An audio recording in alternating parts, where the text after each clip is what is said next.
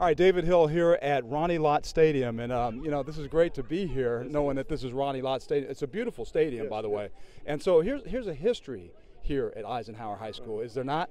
There's a great history rich here. history, yes, yes, a big Talk history. to me about that a little bit. Well, you know, being that this is the school that Ronnie Lott came from, you know, I mean, he set the standard, and everybody here now is just trying to follow it. You know, so uh, the history here is, you know, we have a couple other players that uh, was here, went on, played in the league. So I mean, there's a lot, a lot of uh, tradition here, a lot of rich history here as well. Do, do the kids get that? I mean, do they realize what really was here in the 80s? And I do because I remember I'm getting old, believe it or not. And I played at Servite, so we, there's always something that Right, we, right. we we battle back and forth. But do the kids realize what kind of history is here? Um, you know, I don't think so. I think this day and age, I think these kids just kind of, you know, flew over their head, and uh, we'll say some things like, you know, who who who's been here, but I don't think our kids nowadays understand that now. You know, so I mean, we're trying to, you know.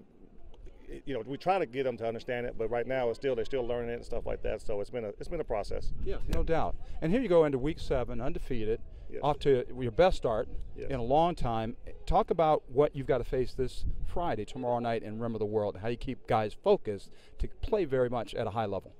Well, you know, honestly, what we try to do, David, is we try to just focus on what we do. You know, uh, Rim of the World's a, a very good football team. You know, they're five and one, so uh, we we go in each week just thinking, you know, we want to go one and zero each week. You know, and that's our mindset. So it doesn't matter who we play, we just want to go one and zero that week.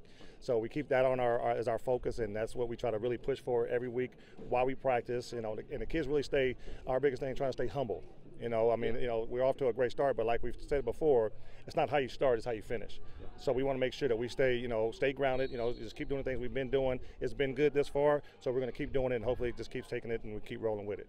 Well, you, you got an excellent start, and looking forward to being here tomorrow night with HSPN Sports. We're going to cover it from head to toe, you guys coming and we're excited to be here. Coach Brown, you're off to a great start, and uh, we got the young guys behind. I know it's fun to watch them as well. You know, they've doing, been doing a nice job, and now we bring it back to Ronnie Lott Stadium. We're here tomorrow night with the Eisenhower Eagles, Yes, off to a flying start. Thank you, sir. All right, all right. HSPN Sports, David Hill. David, Thank you.